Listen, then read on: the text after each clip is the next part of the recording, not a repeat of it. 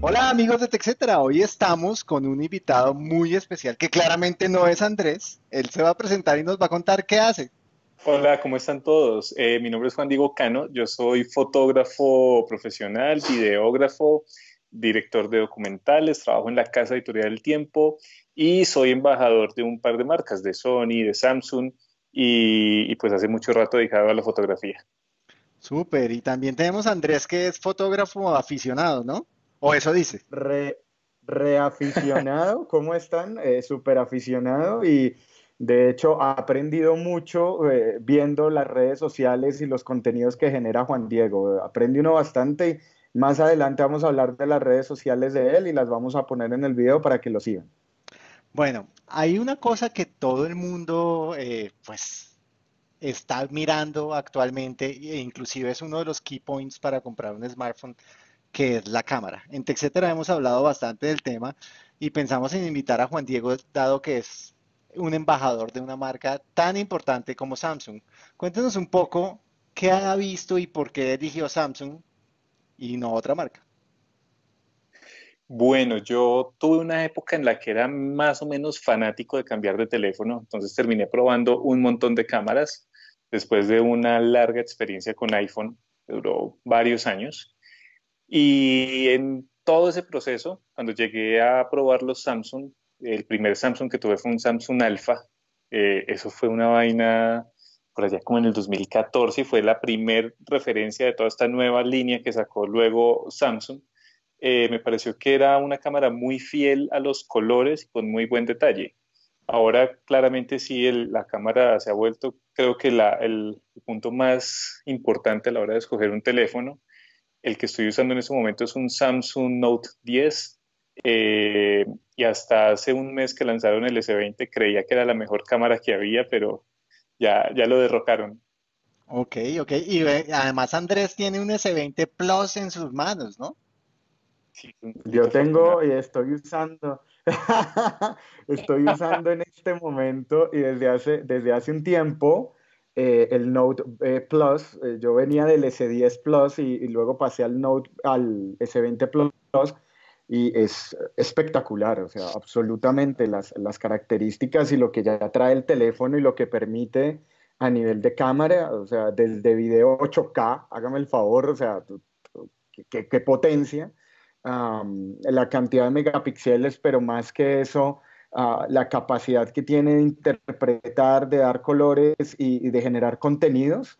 Eh, creo que incluso en la reseña que estará abajo en este video, en la reseña que hicimos en, la primera vista del S20, esta capacidad, eh, yo no sé Juan Diego, no recuerdo si el Note 10 la tiene o por actualización llegará, pero el Note, eh, el, pero el S20, perdón, tiene esta función de toma única que usted toma una fotografía, pero inmediatamente graba un boomerang, pero inmediatamente hace la fotografía en sepia, en blanco y negro, eh, toma un video en cámara lenta, toma otro video en cámara rápida, y entre más tiempo esté uno haciendo, o sea, todo al tiempo, utiliza todas las cámaras que tiene al tiempo y es espectacular. O sea, se siente de verdad antes que Juan Diego responda, le vamos a pedir disculpas a la audiencia porque el efecto belleza de Andrés no dejó ver bien el teléfono, pero bueno, todos lo conocen y, seguramente vamos a poner una imagen Exactamente, nuevamente el efecto belleza entra en, escena. Ah, pero, pero, ahora sí, Juan Diego, cuéntenos.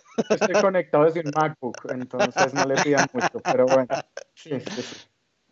No, el, Note 10 no lo tiene, ojalá llegue porque es una opción muy interesante. Yo probé recién salido el S20 y bueno, sí, esa, esa función me pareció una locura, pero creo que es por mi manía de fotógrafo. Lo que más me gustó de la cámara del S20 fue la nitidez, sobre todo en 108 megapíxeles. Hermano, eso es una cosa muy loca. En serio que, es increíble la, la calidad y el detalle que tiene. Hay algo que a la mayoría de expertos, y pues yo que soy un mortal, no, no me puedo considerar un experto, eh, lo estuve probando en el caso del Ultra y me, me, pareció increíble el zoom, ¿sí? El zoom hasta más o menos 30x está súper bien. Eh, después ya el Machine Learning hace lo que puede y sálvese quien pueda, pero me parece supremamente interesante que en ese tamaño y en esa construcción hayan podido lograr algo así. Yo sé que seguramente Juan Diego, precisamente por el origen que tiene, no es tan fanático del Zoom, pero me gustaría preguntarle qué opina una persona que viene desde la cámara digital al teléfono. O sea, si es algo que, que realmente es una función fidedigna, muy usada o no. Pues yo creo que es un descreste, es algo interesante, sobre todo cuando uno pone el 100X, uno dice, wow, no termina siendo muy útil a la final. Es algo más como para decir, wow, qué bacano, qué chévere. A mí me descresta mucho más hasta 10X, me parece que es una cosa espectacular. En 10X es, ahí sí me parece muy, muy descrestador. En 30X todavía es usable. Eh, pero yo creo que que viniendo de una cámara profesional a un teléfono, sí es algo que, que a uno lo golpea un poquito. Yo me acuerdo que, que, mis estudiantes, yo siempre a mis estudiantes les doy una clase de fotografía con, con dispositivos móviles y ellos siempre terminan diciendo, no, pero yo para qué me compré una cámara de tantos millones si con el teléfono puedo hacer tal cosa. Yo siempre he pensado que son para diferentes usos. El teléfono nunca va a reemplazar a una cámara porque hay cosas que técnicamente no van a poder resolver en cuanto a la óptica. Eh, quizás pueden llegar a un número de megapíxeles muy parecido, pero, siempre va a ser un uso diferente. Pero hoy en día hay teléfonos con muy buenas cámaras, con los que podemos conseguir muy buenos resultados. Y hay una cosa muy importante, y es que el teléfono siempre lo llevamos con nosotros. Andrés, eh, eh, en medio de todo lo que dice, en, un artículo puso algo muy cerca, muy cierto, y es que la mejor cámara es la que uno tiene a la mano. ¿Sí? Y eso me parece que es, rescatable. Realmente hay situaciones únicas en donde un teléfono nos ayuda a captarlas. Ahora, ¿usted qué cree de esa tendencia en donde ya todos los fabricantes van es hacia el zoom? O sea, hemos visto que tanto Samsung como Huawei, como Apple, como los otros que siguen, eh, están cambiando esa tendencia de antes, oiga, múltiples lentes, múltiples cosas. Ahora sí, tienen los lentes, tienen el gran angular, el ultra gran angular, pero el tele es algo que está entrando en todos. O sea, ¿usted cree que es algo que va a durar o simplemente es una moda? Juan Diego tocó un punto ahorita súper válido. Hasta 10X es una cosa sorprendente y es súper nítida, ¿no? Porque si no estoy mal, hasta 10X estamos hablando todavía de zoom óptico. Estamos hablando de que la, geometría del teléfono, eh, de la óptica del teléfono, perdón, está cambiando para entregar ese acercamiento. Y una de las cosas que uno ve en el Ultra es este modelo de periscopio, ¿no? Que en las cámaras convencionales, pues uno hace zoom rotando el anillo y entonces uno nota que el lente eh, pues entra o, o se encoge, mientras que en los teléfonos uno no ve eso y entonces uno dice, ¿cómo logran el zoom? Y es porque tienen un periscopio, tienen un sistema de espejos y el zoom se hace de manera horizontal y por un espejo pues lo obtienes en, el lente principal. Eso es súper interesante, o sea, eso es ingeniería llevada al límite, de verdad que es muy bien hecho, pero de nuevo entramos en el problema que menciona Juan Diego y es que el recorrido que puedas hacer en este espacio y en este espacio pues no será muy grande. O sea, llegar a los 10X me parece una función súper chévere porque muestra mucho de la ingeniería y de las capacidades que tiene. Y ahora yo creo es literalmente, eh, como, como dijiste vos ahorita, Felipe, que fue una frase de un profesor mío de fotografía allá en Manizales, la mejor cámara es la que se tiene en la mano.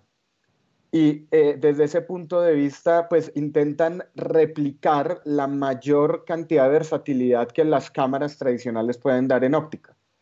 Entonces, de ahí que venga el gran angular, de ahí que venga, ah, no sé, el modo retrato, vengan otra serie de cosas, y lo último que falta es el zoom, porque el zoom también, o sea, decir que el zoom es solo para acercar es realmente desconocer las potencialidades que tiene y las capacidades que en mucho modo de fotografía eh, permite el zoom. Entonces es, es como en esa adaptabilidad. No creo que sea el zoom per se, sino como por entregar todo el rango de adaptabilidad que un teléfono pueda tener versus una cámara convencional. No sé ahí, Juan Diego, ¿qué opina? Sí, sí, sobre todo porque eh, entre más opciones tenga uno, pues más amplio va a ser el mercado. A mí, por ejemplo, lo que más me gusta de la cámara del teléfono no es ni siquiera el zoom, es, el, la cámara gran angular.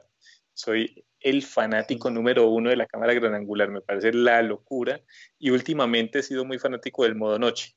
Entonces el zoom es algo muy chévere, pero no, no es lo que más uso siquiera. Ok.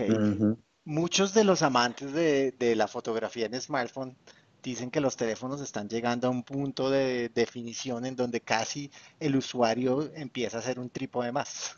Y recuerdo que en, en una conferencia hace poco estábamos con Andrés, que estaba bastante enfermo, porque si no me imagino que hubiera entrado en cólera al oír algo mm. así. Pero me gustaría saber la visión de ustedes dos de ese comentario. O sea, ¿realmente el fotógrafo o el usuario deja de, ser el, el, protagonista en este tipo de capturas debido al alcance que tiene el software y el hardware o no?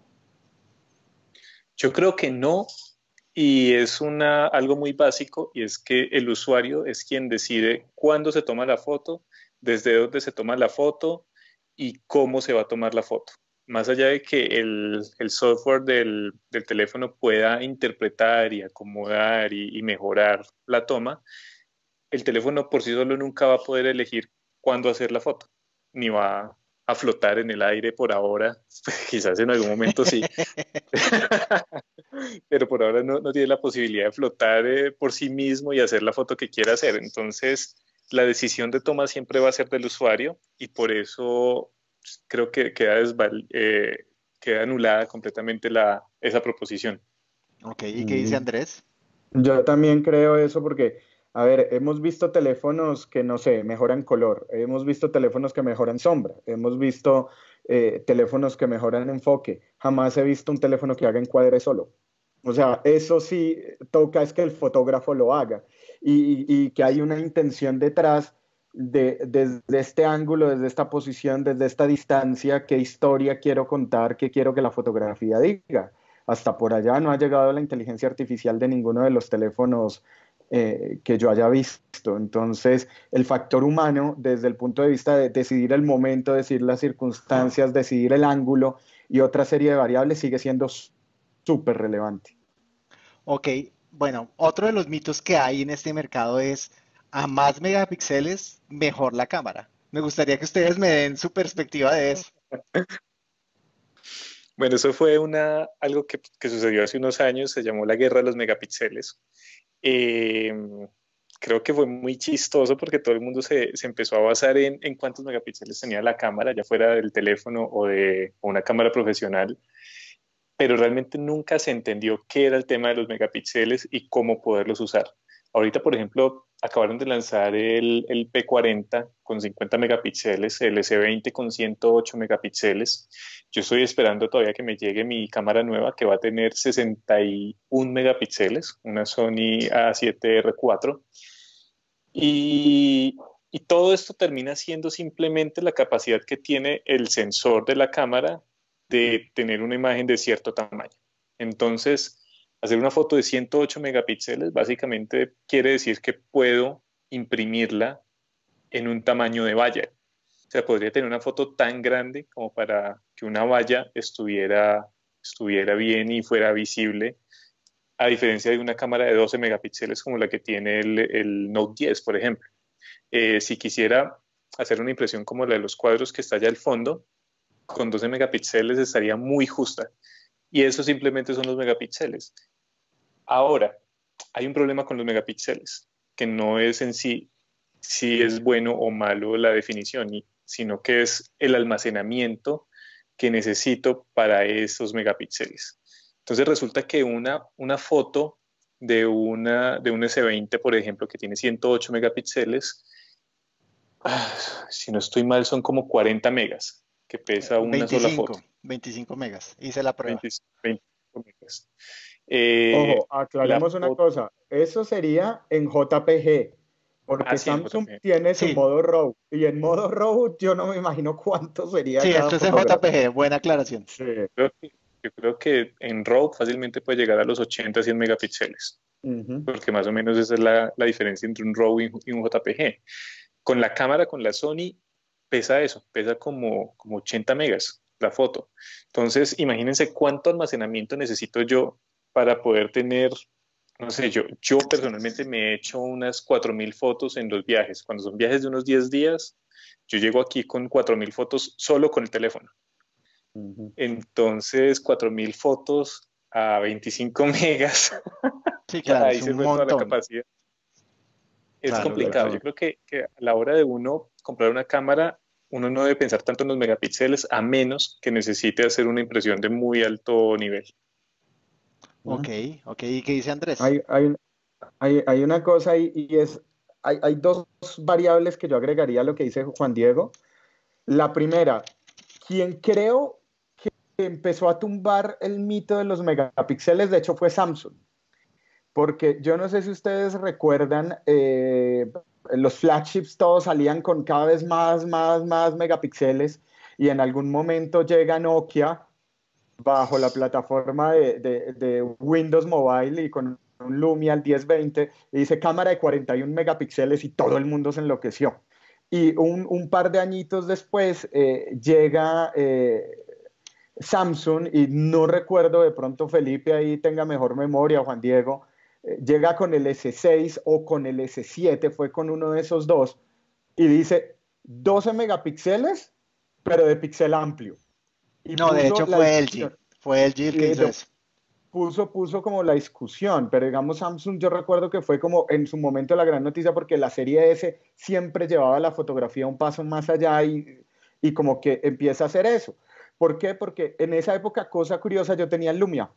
Y una de las cosas que cuando lo pudimos reseñar, Felipe, si recuerdas, era, bueno, tenemos un celular de 12 megapíxeles y tenemos un celular de 41 megapíxeles. ¿Y qué podemos hacer con ellos? Y lo que pasaba con el Lumia, y es la otra variable que quiero mencionar, era que tú sí podías tomar fotos de 41 megapíxeles. De hecho, las podías tomar en RAW. Una vez que estripabas el obturador, bien podías ir a un, café, pedir un café, un pan de bonito, comerlo, sentarse, ta, ta, ta, terminar y luego contar hasta 10 hasta que terminara de procesar la bendita foto. Entonces, Juan Diego menciona el almacenamiento que es súper válido, pero también la capacidad del teléfono de procesar esas imágenes y de manejar esas resoluciones es muy importante. Entonces, eh, claro, tú puedes ir y hay teléfonos que te están prometiendo unas resoluciones importantísimas y con unos números rimbombantes, pero también tienes que ver la capacidad de procesarlas. Tienes que ver la capacidad de almacenarlas. Y más importante aún, cuando tú ya estás hablando de 108 megapíxeles, cuando ya estás hablando de 60 megapíxeles, que no me digan que, eso es para una selfie y que no me digan que eso es para la foto de la torta del cumpleaños. Eso ya tienes tanta capacidad y puedes hacer tanto con ellas que de ahí para adelante, muy de la mano de las otras dos capacidades, tienes que tener capacidades de edición. Y esas capacidades de edición también demandan que el teléfono... Entonces, no es solo cuántos megapíxeles tiene la cámara, es también cuántos núcleos tiene el procesador, cuántos gigas tiene la memoria, cuánto tienes de RAM. Es un conjunto de cosas, no es simplemente, y uno no puede irse eh, ciegamente a decir, esta tiene más megapíxeles que esta, entonces ergo es mejor cámara, para nada, porque hay mucho, mucho detrás de, eso. Bueno, y... Además hay una cosa que, Hay, una cosa que a mí me parece muy, muy chistosa y es un error de usuario muy, muy común que me da mucha risa y es que toman la foto, entonces digamos la toman a 108 megapíxeles y van a pretender enviarla por correo o algo así y no les envía, obviamente. Mm. entonces la culpa termina siendo, según ellos, del equipo, que el equipo no sirve, ta, ta, ta, ta, ta. No, es, cuestión, es entender toda la mecánica y como, como dice Andrés, eh, si el teléfono tiene la capacidad de procesarlo y en este caso si el Internet lo va, lo va a poder también eh, procesar y, que sea útil, porque si es para subirlo a Facebook, pues no va. Bueno, y precisamente me he dado cuenta que hablando de la red social donde se sube y demás, muchos eh, influencers hablaban de las ventajas, por ejemplo, de usar un iPhone que la aplicación subía en mejor calidad las imágenes, por ejemplo, a Instagram o a Facebook o algo así. ¿Eso es un mito o es una realidad? Ustedes, sobre todo Andrés, que se toma tantas selfies, ¿lo ha podido comprobar? No, ahorita que, Juan Diego dijo lo de las 4.000 fotos, yo era pensando, y Liscano va a San Francisco y siempre son 4.000 selfies, no he podido entender. Ah, ahora, ¿Cómo se, los, ¿Cómo se los digo? Ese, es un mito que yo creo que empezó con fundamento. Eh, yo creo que es un mito que de cierta manera se sostiene. No olvidemos que en el caso, por ejemplo, de Instagram, Instagram por mucho tiempo solo existió para iPhone y estaba, er, era una app que estaba pensada, estaba concebida, estaba eh, diseñada para coger ese iPhone 4, 4S y de cierta manera eh, potencializarlo. Además, muchas eh, de los primeros hashtags tenían que ver con palabras relacionadas con iPhone, made with iPhone y otra serie de cosas. Entonces yo creo que el mito empezó con una muy buena justificación y el mito empezó con, con, con, un, con, un, hecho que era válido y era eh, el app originalmente en muchas apps, no solo de redes sociales, sino de edición de fotografía, de procesamiento, muchas cosas empezaron corriendo fue en iOS. Entonces ahí viene y se sostiene. Ahora, también es cierto, ninguna red social lo, lo, va a admitir, que en algunos casos, dependiendo, eh, eh, Juan Diego me corregirá, pero cuando empezó esta batalla por el live, ¿te acuerdas que estaba eh, Twitter, que estaba Instagram, que estaba Facebook intentando posicionar? También dependiendo del dispositivo de entrada que, en el que empezabas a hacer el live, eh, te aumentaba mucho. Entonces, eh, un caso personal, yo soy publicista y alguna vez hicimos unas piezas de contenido en un live para un cliente utilizando un dron, que las enviamos a través del el dron, las transmitió en Facebook Live y el alcance orgánico que tuvimos fue salvaje y no lo podíamos explicar y luego nos dimos cuenta que era el dispositivo de entrada el que había aumentado. Ese tipo de cosas se dan. Hoy yo tengo mis serias dudas de que ese mito o se sostenga o tenga los números que en algún momento eh, llegó a tener. ¿Por qué? Porque ninguna, o sea, el negocio de cualquier red social es la audiencia. Y en ese sentido, pues vivimos en un mundo en que Android es la plataforma que está con la mayor con el mayor market share del mercado. Pero, eh, tengan en cuenta, Juan Diego tenga para decir. Tengan en cuenta que inclusive el S10 cuando salió tenía un modo Instagram, ¿no? Y todavía y todavía, no lo tiene, eh, eh, digamos con la actualización ese modo como que quedó, exacto, pero pero lo que sí hacen es que por ejemplo con el de toma única del del S20, o sea, se nota que Samsung dijo, yo te voy a hacer, o sea, aprendí mucho del modo Instagram, pero ya aprendí es del modo todo, o sea, del modo TikTok, del modo Instagram, del modo Twitter, del modo todos, o sea, como que por eso es que te genera contenido para que de ahí para adelante tú lo compartas donde, donde quieras, donde sea que estés conectado. Ok, Juan Diego iba a decir algo. Sí, además hay algo muy básico y es que el mercado es tan amplio que yo no creo que ninguna red social en ese momento quiera o pretenda eh, sesgar ciertas marcas a una mejor calidad o a una peor calidad, porque si uno ve la torta de mercado del público, eh, los que consumen Huawei, Samsung, eh, iPhone, pues está todo el mundo muy repartidito. Y no van a querer perder público, no sé, de Android, simplemente porque iOS funciona mejor. Porque, pues, por ejemplo, en mi caso, a mí no me gusta para nada iPhone.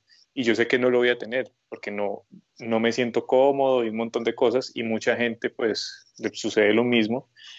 Eh, pero sí creo que hasta hace un tiempo sí funcionaba de esa forma. Creo que si había una ligera mejor calidad cuando se subía desde iPhone o cuando se generaba el contenido desde iPhone. Ahora ya realmente no, no, no creo que haya mucha diferencia. Creo que solo hay diferencia cuando se sube desde un computador. Creo que ahí sí. Ahí, sí, mejora. Calidad. Sí. Ok. Pero ya es por un tema de algoritmos y demás. Una de las preguntas que todo el mundo me ha hecho cuando ve eh, videos y cosas es, ¿qué software usan ustedes en Android precisamente para editar? Yo generalmente uso Premiere, Premiere Rush, pero tiene dos problemas. Uno, que no ha llegado a todos los smartphones, generalmente eh, empezó en el Note y en algunos de, Samsung. Y dos, que es pago. Entonces la audiencia quiere saber si tienen una opción A, B y C para eso que tenga buenas capacidades. No sabía que Roche era pago. esa es la vida de los ricos y famosos, no, nunca se enteran. no, es muy chistoso porque Roche es muy buena y la uso cuando son cosas un poco más elaboradas, pero el 95% de las veces cuando es video utilizo solamente Quick, que es la aplicación de GoPro y como tal la aplicación de GoPro. Esa aplicación es muy buena para editar. esa, la, reseñamos, es muy buena. Sí, es muy buena. Además es el, el, rendimiento que tiene a la hora de exportar y de aplicar los efectos y todo es muy buena. Es un video y en fotografía venía usando Snapseed durante muchos años y desde hace un mes largo empecé a utilizar Lightroom y uff, Lightroom tiene unos filtros brutales y todo lo que tiene es brutal. Entonces ya me pasé a, Lightroom Mobile. Bueno, y algo que, algo que mucha gente pregunta, y creo que ustedes son el target específico para responder, es, si yo uso filtros, ¿quiere decir que no soy tan buen fotógrafo? no. no, no, no, para nada. Sí, o sea, si, es como, por ejemplo, uh, ¿cómo era que se llamaban estos? Valencia y todas estas cosas que se manejaban en, en, Instagram, sí, tiene serios problemas. Uh, dos cosas, Felipe. Eh, la primera, yo, por ejemplo, con respecto a tu pregunta anterior, en edición de video uso Rush también, pero porque en Android, Rush es una colaboración con Samsung. Entonces, quienes tienen los Serie S y los Note, pues tienen todas las ventajas del mundo porque es una colaboración con Samsung que está muy bien hecha, entonces ahí funciona. Eh, también utilizo Lightroom y yo no sé, eh, Juan Diego, en tu Note 10, pero por ejemplo, en mi S20, cuando cargo Lightroom, es Lightroom for Samsung. O sea, ya sale también. sí, Sí, y viene, eh, y digamos, ya por ejemplo, no solo edito, sino que en muchos casos tomo la fotografía utilizando Lightroom, que me permite también su modo eh, RAW nativo y ha sido, o sea, y expande las capacidades de la cámara de manera muy interesante. Y otra de las ventajas que tiene Lightroom es que, y acá respondiendo un poco lo, lo que acabas de decir de los filtros, eh, Felipe, es que, por ejemplo, a mí me puede gustar mucho el estilo de fotografía de Juan Diego. Y me gusta mucho, eh, a ver, cada buen fotógrafo profesional como él es casi como un pintor, uno distingue sus trazos, uno distingue sus colores, uno distingue como su mirada se vuelve parte del estilo. Y uno diría, oiga, Juan Diego, en el colmo del atrevimiento, ¿no? Es como pedirle a un chef del restaurante la, la receta que Felipe lo ha hecho varias veces. a veces la dan, a veces la dan. Sí, a veces la dan, sí, pero, oiga, sí, bueno. Bueno, entonces el asunto es, eh, uno podría decirle, Juan Diego, podría exportarme algunos de sus eh, parámetros de edición y los uno los puede compartir entre Lightroom y Lightroom y uno puede importar parámetros y eso es muy interesante porque eso le da a unos cosas. Es una locura, es una locura que uno pueda literalmente coger el estilo de alguien y importarlo y empezarlo a trabajar. Y ahí los filtros, sí son, yo no soy muy fanático de los filtros predeterminados, pero sí soy muy fanático de, dependiendo de mi estilo, de lo que quiera comunicar con la fotografía, de lo que quiera resaltar, de lo que quiera destacar, empezar a jugar con las opciones y empezar a destacar y ocultar unas cosas. Entonces, eh, desde ese punto de vista, para mí los filtros son elementos de la narrativa, son eh, cosas que me permiten como cuando uno utiliza adjetivos eh, mientras está escribiendo algo. Entonces, para mí funcionan es de esa manera, Juan Diego. Yo tuve mi época de ser un fotógrafo absolutamente perezoso, entonces yo no editaba para nada mis fotos y me esforzaba muchísimo para que las fotos quedaran tan bien desde la toma que no tuviera que hacerles absolutamente nada porque me moría de la pereza. Y cuando empecé a hacer video y descubrí la colorización de video, eh, empecé a, decir como, bueno, apliquemos un poco de esta colorización que estoy haciendo en video también a las fotos, a ver qué tal, qué tal salen. Y he venido desarrollando pues una serie de colores, de paletas de colores que me gustan mucho, eh, pero en mi caso personal fue más influencia del video que otra cosa. Eh, y sí, sí, efectivamente creo que, que uno, uno empieza a desarrollar una firma personal en cuanto a color Eh, a mí, por, por, ejemplo, me distinguen mucho los colores cálidos. En este momento de mi vida estoy pasando por una etapa de colores cálidos, entonces en video y en foto los aplico mucho. Y tengo una serie de LUTs y de perfiles que, más o menos sé que pueden funcionar en ciertas ocasiones y se hace también muy fácil poderlos aplicar. Esa opción que tiene Lightroom de aplicar los perfiles de otras fotos me parece que es brutal. Yo en cierto momento me bajé un pack de fotos eh, para ver cómo funcionaba y, es muy chévere porque además uno aprende mucho del estilo de otros fotógrafos y creo que eso siempre termina siendo eso, un aprendizaje y, y creo que ese aprendizaje nunca termina. Ok, bueno, y ahora, ¿verdadero o falso? para estas ediciones usan mucho el S Pen o no? Porque he conocido gente que dice, no, el dedito. Y hay otros que dicen, oiga, sí, con el S Pen, mejor dicho, me ahorro un montón de tiempo. El S Pen es una gomelería muy bacana. A mí personalmente me gusta mucho para hacer anotaciones, para editar fotos, para editar video, porque es muy preciso. Entonces, cuando tengo que cortar algo o pintar algo, pues eh, funciona muy bien y cuando estoy en una reunión y para tomar notas en las reuniones, me parece lo mejor. Supongo que hay gente que le saca mucha más, mucho más jugo al ESPEN. Yo, por ejemplo, no utilizo mucho lo de los gestos porque yo no termino haciéndome tantas selfies. A veces sí lo utilizo, pero eh, lo que he venido utilizando mucho últimamente, ahorita lo tengo descargado, justo lo puse a cargar, pero con el Watch, con el Samsung Watch eh, Active 2, creo que se llama. Hay una aplicación en la que yo veo la cámara en la pantalla del, reloj. Entonces yo disparo es desde el reloj. Por eso es que no utilizo tanto el S Pen. Porque prefiero, prefiero poner el teléfono donde lo quiera poner y disparar desde el reloj. Ok, ok. ¿Y qué dice Andrés? No, pues eh, eh, yo tengo un S, entonces yo no tengo pen, yo no tengo, pues la serie S no lo trae. Cuando he tenido la oportunidad de reseñar los Note, el Note 9, que a mí el Note 9 me encantó, me pareció un telefonazo. Buen teléfono. Eh, y luego cuando, de, maravilloso, y luego cuando tuve el S10, eh, al igual que, que, que Juan Diego menciona, lo utilizaba para editar cuando lo que necesitaba hacer era muy preciso. O, por ejemplo, cuando necesitaba clonar un color o necesitaba identificar un color para aumentarlo y todo, ahí sí no hay nada que le gane porque necesitas, no sé, puede ser un elemento diminuto en tu fotografía, pero quieres aumentar ese color, entonces el dedo simplemente no te va a dar y el S Pen funcionaba muy bien para identificarlo y luego empezar a editar con él. Entonces, en, momentos de mucha precisión sí era, sí era bastante útil, de verdad que sí.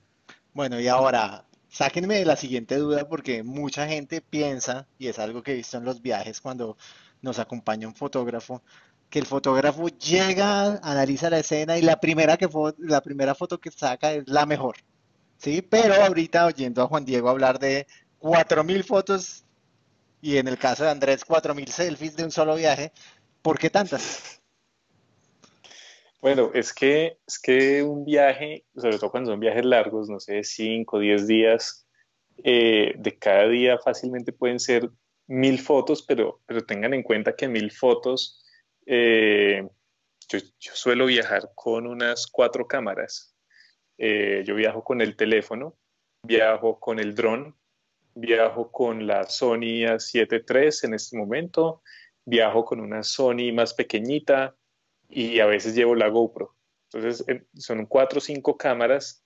Entonces, claro, uno empieza a sumar y a sumar y, cada cámara la utilizo para algo muy específico. Eh, entonces son un montón de, de, fotos, de videos, de tarjetas. Generalmente yo llego por la noche a los hoteles a descargar todo el material y yo perfectamente puedo llegar con 100 o 200 gigas de un viaje. Y si, si le preguntara por la parte matemática de cada mil, ¿cuántas fotos son realmente usadas para alguna pues publicación? depende, mucho del viaje digamos que, pongamos un ejemplo, digamos que viaje a Cartagena, el, último viaje que tuve a Cartagena hace un mes. Ese viaje eh, fue para hacer una historia de un boxeador. En ese viaje no hice tantas fotos porque el, el target del viaje era hacer un video, pero sí terminé teniendo hartas fotos. Entonces hay una parte de las fotos que se van para la publicación que va a haber en el periódico. Hay otro montón de fotos que lo utilizo para, para mi exposición actual que se llama Colores de Colombia, que es esa que están viendo allá al fondo. Eh, hay otro montón de fotos que son para redes sociales, para mi contenido en redes sociales. Y están el resto de fotos aleatorias que de pronto van saliendo y que no las hago con la intención de, de tenerlas para algo específico, pero quizás después de uno, dos, tres meses las veo y digo, uy, esto puede funcionar para, para algo. Que de pronto son proyectos que están por ahí rondando y todavía no los tengo muy consolidados, pero, pero los voy haciendo. Entonces siempre, siempre son un montón de, de, de vías disponibles para, para esas fotos. Ok, y en el caso de Andrés que tiene un Instagram tan nutrido de selfies, ¿qué nos puede Ay, decir? sí. No, Ni una selfie, gracias a Dios. Ah, eh, una, a, a ver, yo al igual que Juan Diego, normalmente empaco mi equipo de acuerdo a lo que, pues, a lo que permite cada uno. Ah, yo no utilizo GoPro porque yo tuve una GoPro por, por mucho tiempo, pero cuando empezaron a aparecer las granangulares, eh, yo dije, bueno, quizás estoy siendo un poco redundante y, y me gusta un poco más ya tener eh, la capacidad en el teléfono. Antes de eso, la transferencia de, de fotografías al teléfono desde GoPro no es tan intuitiva y natural como es ahora. Entonces, eh, pero digamos que con el gran angular, que de hecho es mi, mi lente favorito en los teléfonos, ya no consigo un teléfono sin ultra gran angular porque me o sea, siento que está incompleto. A mí me gusta mucho la fotografía de arquitectura, por ejemplo. Entonces, para arquitectura es muy bueno. Las esquinas, un, un ultra gran angular.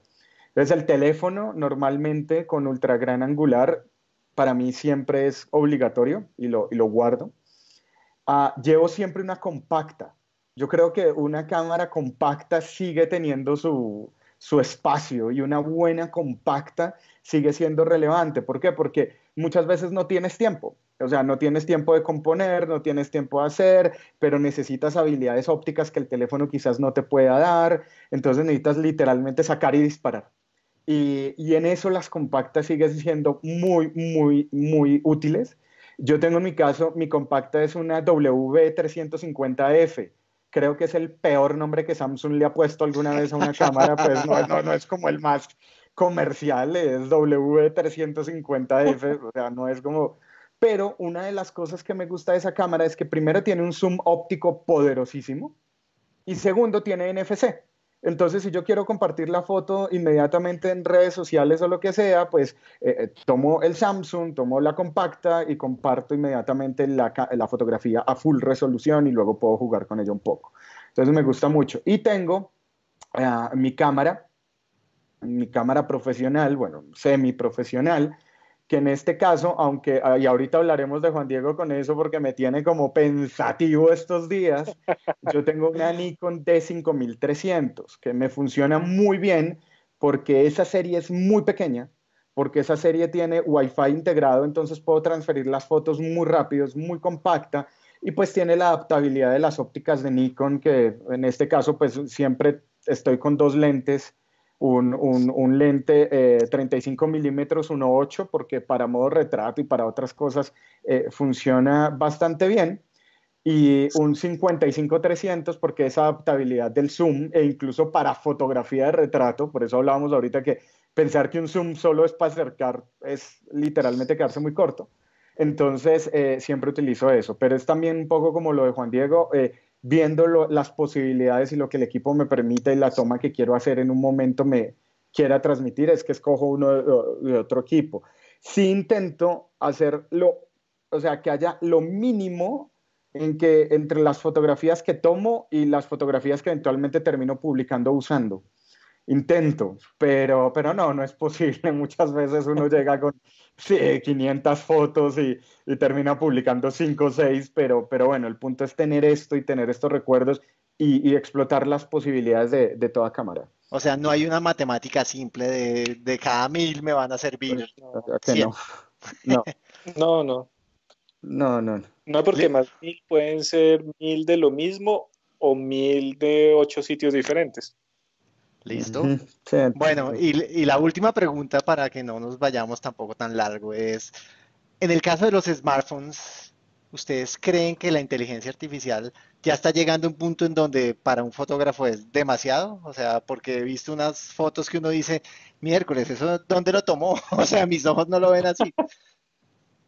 Pues yo, por ejemplo, el año pasado tuve la oportunidad de probar más o menos un mes el Huawei P30.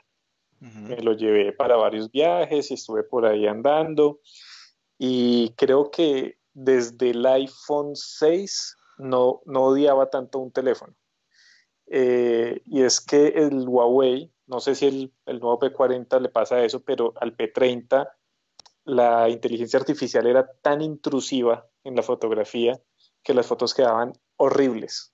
Entonces el color no era el que yo quería, la luz no era la que yo quería, yo veía una escena y la trataba de disparar y, el teléfono hacía otra cosa. Ese teléfono lo quería tirar contra una pared. Eh, yo creo que sí se puede pecar. Ojalá Samsung nunca peque en eso, porque hasta ahora ha sido muy fiel a, a mantener una fotografía eh, natural. Hemos tenido, sobre todo en la serie alguno que nos cambiaba los morados. Bueno, la serie no la he probado mucho. no, pero en general sí, en los buques insignia. pero no es muy bueno.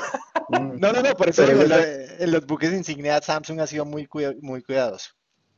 No, pero yo creo que eso eran otros serie A, o sea, cuando estábamos, porque probamos el A70, el A80 y el A50, y déjeme decirle que esas cámaras impresionantes, nosotros tuvimos, si alguna vez tuvimos un problema fue con la serie A. Exacto, ah, se acordó, se acordó. Sí, sí, sí. Tuvimos un, una leve, pero ni siquiera era la inteligencia artificial, yo creo que era un problema con el reconocimiento de los blancos. Y hay, hay una cosa ahí que menciona Juan Diego, es una cosa es cuando la inteligencia artificial es intrusiva y otra cosa muy distinta es cuando la inteligencia artificial funciona en el reconocimiento de escena y por consiguiente eh, sugiere o modifica porque en, este reconocimiento de escena esto quizás funcione mejor. Entonces, eh, son cosas ahí porque es que eh, lo, lo frustrante es cuando la inteligencia artificial literalmente toma las decisiones por ti y, que uno no tenga mayor opción de control sobre qué decisiones está tomando. Eso puede ser muy frustrante. No, que, que además a mí lo que más me frustró fue exactamente eso. Yo, por ejemplo, en el Samsung le puedo quitar el HDR o limitar el HDR en las fotos, pero en el P30 nunca podía quitarlo. Entonces, el HDR era tan intrusivo que volvía a mierda las fotos. El, el modo Pro es el que generalmente le da la opción para todo eso. Pero bueno, listo, señores. Mil gracias, en serio. Eh, no todos los días uno tiene este tipo de invitados tan elegantes. Juan Diego, recuérdenos cómo lo encontramos en Instagram y en las redes sociales, por favor. Bueno, en todo lado, hasta en TikTok, me encuentran como Juan Diego Cano. Eh, generalmente es arroba Juan Diego Cano. Y pues nada, ahí en las redes estoy para lo que necesiten. Si tienen dudas, yo a veces parezco un call center de, de Sony eh, respondiendo qué cámara deben comprar, que si necesito hacer esto, que aquello, la, la, la. Entonces, si tienen dudas de qué equipo necesitan, no duden en hacerlas. No hay nada más terrible que hacer una inversión de muchos millones en una cámara o en un equipo que no era lo que estaban buscando o lo que de verdad necesitaban entonces no, no lo duden y por ejemplo usted que quiere cambiar esa Nikon eh, está apenas a tiempo para comprarse una Sony 6400. No, pues es que acá para, para la audiencia que, que, de pronto no lo sabe, usted es embajador de marca de Sony y ahorita mencionó qué alfa tenía. Felipe también tiene una alfa. Una 6000 y, una 5000. que la él, sí. él, también tiene, eh, yo tengo mi alfa Ah, esto es una joyita, eh, eh, pero, pero el punto es, digamos, en este momento yo sí lo he pensado porque a pesar de que quiero y tengo mis ópticas para mi Nikon y todo el caso, lo que uno está viendo en términos de adaptabilidad, lo que uno está viendo en términos de potencia, lo que uno está viendo en términos de resultados, lo que uno está viendo en términos de difusión de, de fotógrafos que uno admira, y que te están hablando de Sony, Sony, Sony, Sony constantemente, pues ya te hace dudar bastante de seguir con otras marcas, ¿no? Claro, es que hay una cosa que a mí por lo menos me dejó muy enamorado de Sony y no es porque sea embajador, sino yo, yo de hecho pues mi primer Sony la compré, yo no era embajador desde, desde la entrada, yo compré mi primer Sony, ya después fue que vino el tema de ser embajador, y es que Sony le muestra a uno la foto cómo va a quedar. Entonces, si uno hace un ajuste, lo que uno está viendo en el visor es lo que realmente va a obtener. A mí me frustraba mucho a veces, yo antes de la Sony tenía una Canon y me pasaba mucho que yo la cogía, enfocaba, disparaba y cuando veía la foto, el resultado, el foco estaba en otro lado. Y yo decía, mierda, pero yo estoy seguro que enfoqué a la persona, no, el foco estaba en la mierda. Con Sony no, con Sony el foco, el color, todo queda perfecto. Por eso les decía hace un rato que yo me volví obsesivo en que la foto quedara tan bien desde la toma que no tuviera que editarla. Y en eso pues Sony me ayudó mucho porque con Sony quedaba perfecta. Ahora, el tema del rendimiento y de la calidad creo que es muy importante y a eso le podemos sumar la portabilidad. Eh, sé que tiene la 6000, sabe que la 6000 es una cosita chiquitica que la, la 5000 es divina. 5000 es una barbaridad. A mí me encanta esa, esa 5000. Además, la 5000 tiene eh, pantalla abatible, entonces para hacer selfies es muy chévere. Pero sobre todo... Andrés va a salir a comprarla. Es un negocio, la selfie. No, el tema del video me parece que es la locura más grande que tiene Sony. Eh, cuando estoy editando, por ejemplo, mi último documental que salió en cine fue grabado todo con Sony eh, y yo tuve en cierto momento mis dudas y dije, ¿será que grabo esto con la cámara de cine que hay en el periódico, que es una Canon? Eh, y a la final dije, no, voy a grabar esto con, con Sony y vamos a ver qué tal nos va. Quedó perfecto. Cuando vimos ese documental en pantalla grande, no, eso se veía espectacular. El video creo que es el mayor plus de las, de la Sony. O sea, es que esa adaptabilidad no es solo una cámara de fotografía, o sea, es una cámara para capturar en el formato y en la dinámica que uno quiera, ¿no? Eso es lo que está pasando con Sony. No, y ayer me vi un tutorial que ese sí me, dejó, me voló la cabeza un poco de cómo utilizar esa Sony como webcam. No, no, no, no, no. Eso es como usar un Ferrari para un trasteo, pero bueno. No, pero. No, pero, pero imagínese usted con un 5018 y una luz bien vacancita de pues, estas LED. Eso queda brutal, brutal. Y, y obviamente, pues con, con, con, el fondo desenfocado, que es muy, muy chévere. Como le gusta a Andrés, el efecto belleza de Andrés. No, este efecto raro que no lo he podido no sé no, ya, ya se fue, ya se fue el efecto belleza. Sí, ay, bueno, gracias a Dios, porque de verdad estaba preocupado yo con eso, pero bueno, en todo caso. Pero mira que es interesante porque entonces es, uno ya puede traer características muy profesionales a un entorno eh, de Internet que normalmente tenía las peores cámaras del mundo, ¿no? Sobre todo en este momento que hacer en vivos se ha convertido en uno de los temas más interesantes de las redes sociales. Nosotros en el periódico utilizamos unas cámaras Blackmagic para hacerlos en vivo, pero esas cámaras necesitan una consola gigante y un montón de cables y cosas para poderlas conectar. Ahora con esta interfaz que viene el tutorial, uno simplemente conecta la cámara la Sony con un cablecito al computador y listo, ahí tiene su cámara profesional para hacer un en vivo en Facebook o en Twitter, donde quiera, y le va a quedar perfecto. Eso me parece lo más interesante de todo. Ok. Mm, bueno, señores. Felipe, para ese negocio de webcam que usted tiene por ahí, No, no, no, ese es otro tipo de video. otro tipo de video, no se preocupe. Pero bueno. dólares, está? Hablamos fuera de línea porque les tengo un par de negocios. bueno, señores. Muchas gracias entonces y, pues los esperamos en texetera como siempre.com.